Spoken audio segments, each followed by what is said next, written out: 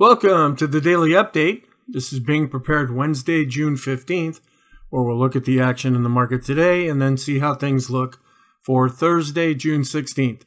And just a little note as I get started there is a dog near where I'm recording that is voicing his or her opinion, and that might get picked up on the microphone. I also have a cat that is scratching on the door trying to get in just think of that as added features to today's video. Another thing I want to mention is I did have trouble uploading the video yesterday. I recorded it, but because of power outages and internet issues, I wasn't able to upload it until much later, and that can happen at any time. I'm trying to make the videos a little bit shorter and more to the point, but that doesn't always work because it sometimes takes a while to get to the point. I just need time to talk about things to give you a good picture of what's happening. Also, I'm going to try to keep these videos as much as take one as possible. That also will cut down the amount of time that I need to spend editing and I can get things uploaded.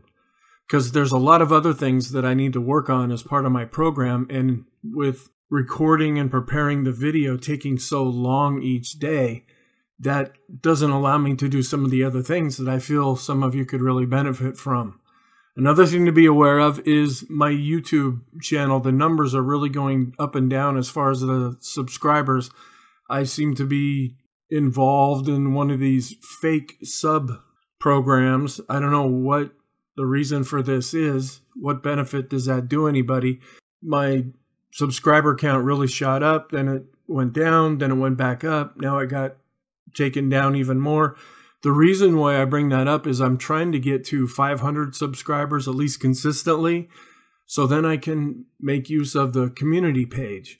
And that's where I can make announcements like, okay, I'm not going to be able to do a video today, or this is running late, or I could start posting some articles in there that you might find useful and different bits of information that I don't necessarily have to include in the video. And that might help keep the videos a little bit shorter. Okay, let's go back and talk about what happened. It was Fed Day on Wednesday. At the open, we did gap higher up to R1, which was at about 37.74. As the day went on, prices drifted until the FOMC announcement, and that's pretty normal, and I have a chart to show you that. After the announcement, Prices did gyrate around. They went down to the daily pivot at first at 37.40, but then were able to climb up to R2 at 38.12 and then even get above R2.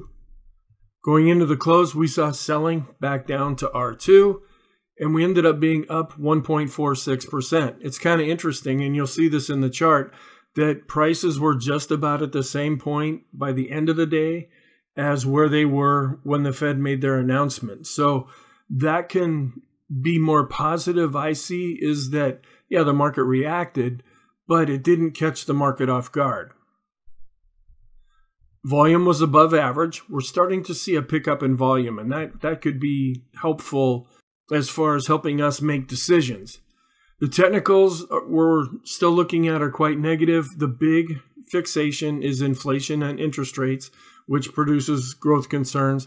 There might be some kind of a hangover on Thursday with the FOMC meeting, all the geopolitical concerns, and then earnings as well.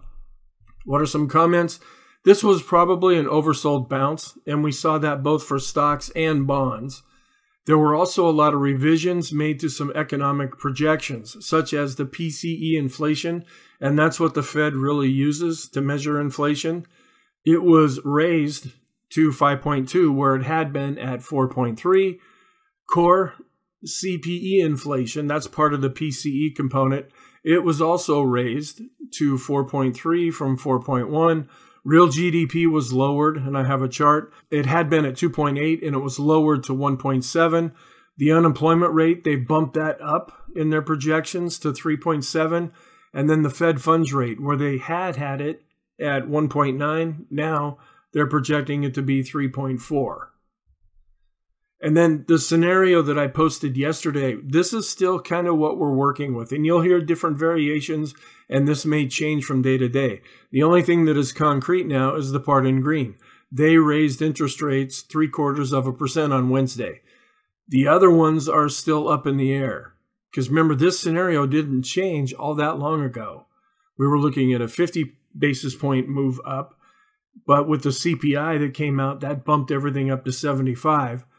They're also right now looking at a 75 basis point move in July, but during the press conference, Chairman Powell said maybe 50. So that can change all the time. And then the other part of the scenario is the 50 basis point move in September, so that it, by the end of the meeting in September, the Fed funds will be at two and three quarters to 3%, and that's the range that it will go through. Fear is really extreme right now. There are real recession concerns going forward. And then in Europe, the European Central Bank, they held an emergency meeting to try to come up with a plan to stop falling bond prices. Because not only are bond prices falling in the US, but they're also falling in Europe. And that's really bumping up interest rates. As far as the economic reports that were released, as far as the applications index for mortgages, it increased 6.6% on a week over week basis. The big one was retail sales, and it decreased 0.3%, where they expected it to be up 0.2%. The New York Fed's Empire State Manufacturing Survey, it was minus 1.3, where they expected it to be at 3. The reason I bring this up is anytime we get a reading under zero, that shows contraction. If it's above zero, that means the economy in that area is expanding. The import export price index showed that there was a three tenths of a percent decline on non fuel imports, and that means 5.9% on a year over year basis and a 2.9% increase in non agricultural exports. On an annual basis, that's 9.3%. So we're just seeing a decline in imports and an increase in exports. Business inventories increased 1.2%, and that was as expected. The NAHB Housing Market Index fell to 67. They expected it to be at 68, and it was at 69 last time we had this report. Our trend is negative. I've switched the bias over to mix because we're very oversold still. We had a positive day, but we're still in a very negative environment. So the momentum is still negative. Let's go back and talk about the day's session. We are showing extreme negative sentiment right now as far as fear. So we've dropped below 25.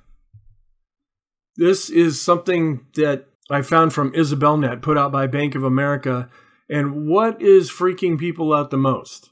It's the fear of hawkish central banks that is growing as the war fears seem to drop off. You don't seem to be hearing as much about the Russia Ukraine war in the news.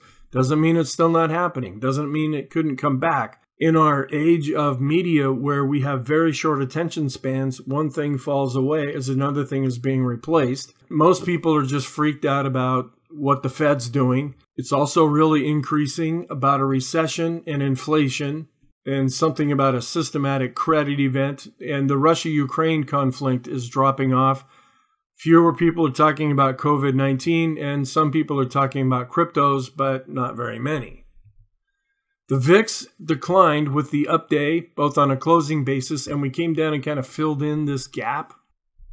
And the VIX of the VIX also declined, both on the bar chart and on a closing basis.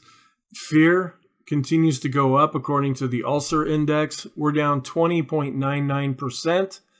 The equity put call ratio on a five period basis, it's still going up overall and showing pretty extreme fear.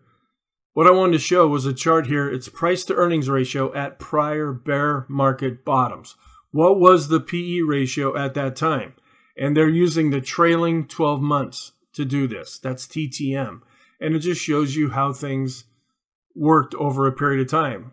The average is 11.7. So what is the PE ratio right now? We're at 19.5. So this could mean that the market is still overvalued from a historical perspective, but it doesn't necessarily mean this is going to change quickly. Once these numbers get out of line, it can take a long time for them to, to adjust. And this chart goes back all the way to the 1870s. So we've got a good amount of data on this chart. Another thing that was revised is the GDP now. It had been slightly positive. I put this arrow and this zero here because that's what they're projecting right now. They're not saying the GDP is going to be positive or negative. They're just saying it's going to be zero. Looking at some earnings issues, this is the 12 month forward EPS growth. And notice how it's been coming down. And then the Fed funds rate, which is now going up. So we're seeing a correlation between the two. When the Fed funds rate goes up, the earnings go down. Interest rates up, earnings down. We're starting to see that kind of an environment again. So that could be more negative for the S&P. Looking at support and resistance, and I have no idea if this is actually helping you. The first chart that I'm bringing up is the intraday pivot levels, and these change every day. And if you look in an intraday chart, maybe that will help you. And there's a lot of different types of support and resistance levels on this chart. Then I go and I look at the daily chart more with what I've come up with for different support levels, and we're still down below S1, and we have S2 down below us at 3586. See, support and resistance, it might look good in hindsight, but it's also very subjective at the time because you could have a bunch of different people come up with different support and resistance levels. So that's why I'm putting a lot of lines on the chart and why it's really hard for me to give direct answers. So I just look at what's worked before, realizing that that could change at any time. Here's on the daily chart, these stay the same for the whole month. So these levels don't change. What does change is the daily bar. Here's a little easier one to read where we're going back and testing the lows set in 2021. And as of right now, we could be bouncing up off of that. Another one is showing that we're still below these two fib levels that are overlapping each other from the COVID low to the high and then another low that we set back in 2020 to the high. And now that we've fallen below this, if we start to bounce up, this will probably provide resistance now. Then on the weekly chart, we're trying to come back up to this very much longer term Fibonacci retracement. That could also act as resistance as we try to go above that looking at the Fed, and then after this video, it'll probably drop off for a while. There's now a 77.8% chance that they're going to raise rates to two and a quarter to three. Okay, well, we're at one and a half now, so that would be another 75 basis point move. And this will change as economic reports come out, as things go up and down. But this is how it looks right now. And then in September, they're looking at being at two and three quarters to three and a half. My goodness, by the end of that meeting. Looking at the two year yield compared to the Fed funds rate, this is an updated chart from Edward Yardeni. The Fed has now raised interest rates. The futures showed that we could still be going higher. But the blue line, which is the actual yield that we follow on the price charts, it came down a little bit and so we're starting to fill this gap slightly. What we want to see is this come back more in line and get closer together with what's really happening. Looking at the sectors, see, nine out of the 11 were negative with discretionary doing the best and real estate. The two that were down were materials and energy. And here it just shows how things have performed since the all time high. It's kind of the same chart we've been seeing. Energy is the only sector that remains positive. Our technical alerts, we had a BPI cross below 20, and I'll show you that on a chart. That's negative for the S&P, but the S&P was able to get back above 3800. Kind of a mixed bag with this one. Intraday, in the overnight session, and I start this with the new day. So this started on June 15th, and we were pretty positive with the futures. And then right in about this area is when the market opens. Here's the daily chart showing how we gapped up right here to R1, bounced up a little bit, came down, bounced up. And this is more common for before there's going to be a Fed announcement. The announcement came out, we gyrated around. First, we shot down below the pivot. Then we went all the way up to R2 and then came back down. And we ended up being just at about the same level that we were at before the announcement was made. Here's a one minute chart just showing how things were going up and down, up and down. The Fed makes their announcement. We start to gyrate. There's a real increase in volume. At first, we went lower. Then the press conference started and things started to improve where it doesn't go straight up or straight down. And then we did see some selling coming into the close. Technical overview nothing has changed here. It's just a broken record for right now. So I just go through this quickly. Stocks, bonds, sectors, indexes, cryptos, they are all still negative overall. Our trend is still negative. We're seeing an advancing ADX, even though the red line came down on the up day. We did see the green line turn up, but since the red line is on top, that's what we default to. So we are in a negative trend. As far as breadth, seeing a little bit of a bounce based on price and volume. Our advanced decline ratio, a little bit of a bounce. New highs, new lows haven't really turned up yet, so we're still negative there. Little bit of a turn up with the accumulation distribution, but still below the moving average. Stocks below their 50 period moving average. This is still extreme negative and suggests that we might still be oversold. On a 200 period moving average, we could still drop below this and come down here into this other area, that would produce a longer term climactic signal. Short term charts, the rate of change looking back five periods is trying to bounce up. The force index also saw a bit of a bounce looking back 10 periods with the rate of change, a bounce. A little bit of a bounce based on price and volume with the Swenlin trading oscillator. McClellan oscillator also bounced. So we saw some bouncing out of our short term indicators the Stoch RSI as the Williams percent R. So we're seeing across the board bouncing short term, as with our moving average study, stochastics. Now, looking at our intermediate term charts, we're still far away when we measure standard deviation. That just means price needs to get back in line with what the mean price has been over a period of time. The Sean trend meter continues to be negative. The CCI 14, it's still extreme negative, as is the CCI 20. The Chaikin oscillator is trying to turn up, but is still negative. Chaikin money flow finally turned negative. Ease of movement was pretty much flat. Volume has been picking up lately. The vortex is still negative overall. Summation index based on price and volume are still negative.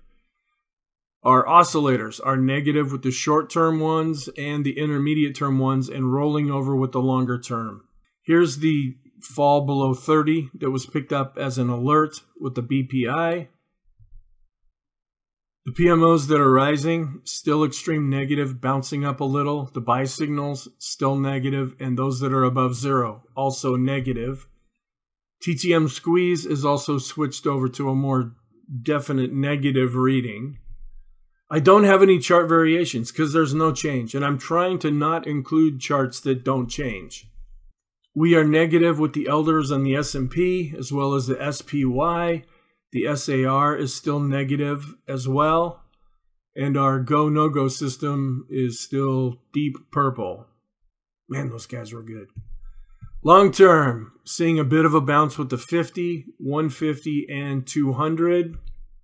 Special K starting to show more of a decline.